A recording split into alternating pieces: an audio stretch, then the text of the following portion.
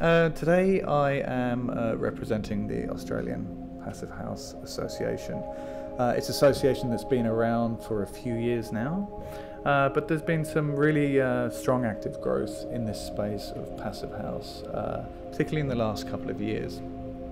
The passive house vision, and Darren also touched on that earlier, it's not all about energy, and I think that's a huge misconception that people think, ah, oh, you know, it's, it's those greenies, they just want to save the world. But that's actually not where passive house started. It all started with having comfortable living options with uniformly warm walls, floors, and windows. Drafts, condensation, and mold growth are no longer a problem. Permanent supply of fresh air with a pleasant temperature independence from energy price fluctuations. So, yes, it is about energy, but it's certainly not the, the only focus.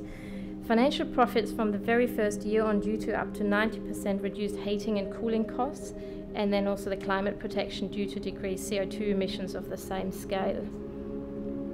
What we've seen elsewhere, where there's been real success in the passive house market, is not a bunch of scientists or engineers or people with a, a vested interest in Passive House just because they're geeks.